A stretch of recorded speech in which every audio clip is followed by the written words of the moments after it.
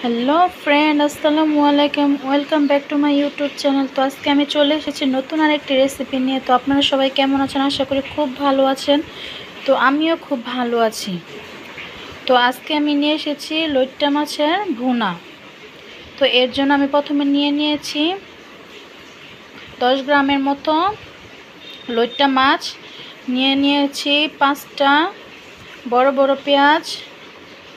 নিয়েছি পাঁচটার মতো কাঁচামরিচ কুচি, নিয়েছি ধইনা পাতা কুচি, নিয়েছি এক টেবিল চামচ মরিচ গুঁড়ো, নিয়েছি এক টেবিল চামচ হলুদ গুঁড়ো, নিয়েছি এক টেবিল চামচ ধইনা গুঁড়ো, নিয়েছি লবণ।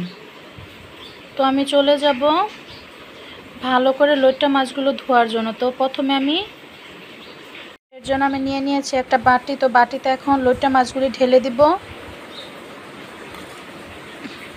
তো এখন লোট্টা মাছের মতো আমি দিয়ে দিব কুসুম গরম পানি, এক কাপের মতো। তো এখন লোট্টা মাছগুলো ভিজিয়ে রাখব।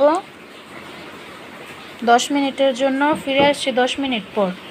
তো বন্ধুরা, লোট্টা মাছগুলো পানিতে দশ মিনিট ভিজানো হয়ে গেছে। লোট্টা মাছ পানিতে না ভিজিয়ে রাখলে মাছের আষ্ট আষ্ট গন্ধ, সেগুলো রান্না করার পরও আসবে। এর জন্য দশ মিনিটের জন্য ভিজিয়ে রেখেছি যাতে মাছের আঁশটাগুলো উঠে যায় আর উগ্রগন্ধগুলো চলে যায়। তো এখন লোট্টা মাছগুলো কাটা আমি ফেলে দেব। তো বন্ধুরা, আমার সবগুলো মাছের কাটা ছাড়ানো শেষ। এখন আমি মাছগুলো আর একটু ভালোভাবে ধুয়ে নেব। তো ধুয়ে নিয়ে আমি চলে যাব রান্নার কাজে।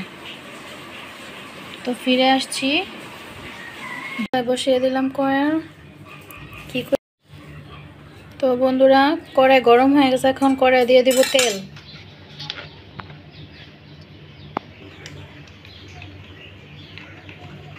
দিয়ে দিলাম এক কাপ পরিমাণ তেল।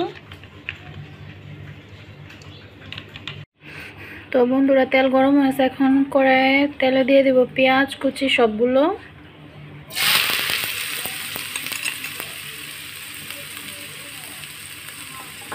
তো পেঁয়াজ, কুচিগুলো এখন লাল লাল করে ভেজে নেব।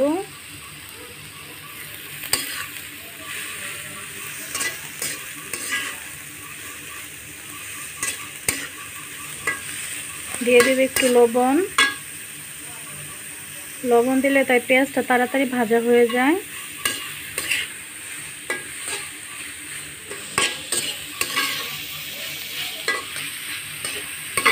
এখন লাল লাল করে ভেজে নেব।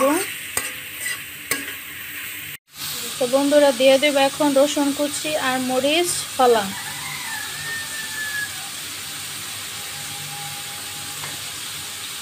সব কিছু এখন ভালোভাবে লাল করে ভেজে নেব। তো বন্ধুরা, আমার পেঁয়াজগুলো লাল লাল করে ভেজে নেব। তো লাল লাল করে ভাজা হয়ে গেছে, এখন দিয়ে দিব পরিমাণ মতো পানি।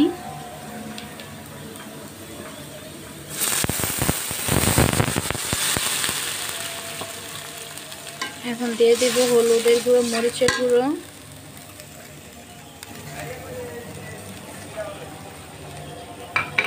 এখন সব কিছু ভালোভাবে কষিয়ে নেব।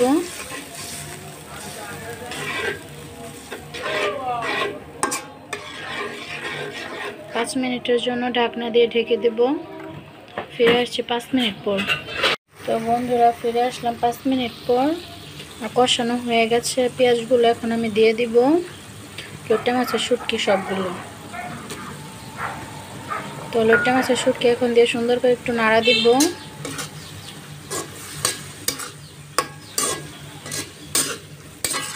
তো মাছগুলো যাতে ভালোভাবে সিদ্ধ হয়ে জন্য একটু ঢাকনা দিয়ে ঢেকে দেবো দুই মিনিটের জন্য। তো বন্ধুরা, ফিরে আসলাম দুই মিনিট পর। এখন ভালো ভালো করে ভেজে নেব লোটা মাছের শুটকিগুলো।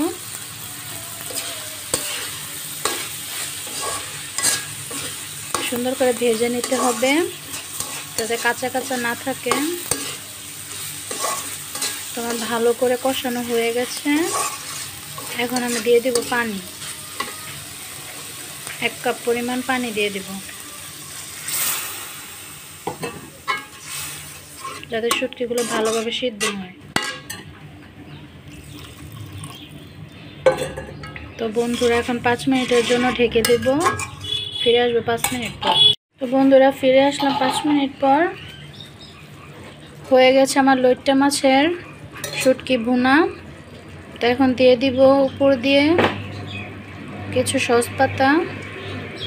তো হয়ে গেল আমাদের দারুণ মজার লইট্টা মাছের শুটকি বোনা তো আপনারা অবশ্যই বাসা ট্রাই করবেন। তো এখন আমি নামিয়ে নেব। তো বন্ধুরা, তৈরি হয়ে গেল খুবই মজাদার লইট্টা মাছের শুটকি ভুনা। তো আপনারা অবশ্যই বাসা ট্রাই করবেন। গরম গরম ভাতের সাথে খেতে খুবই মজা।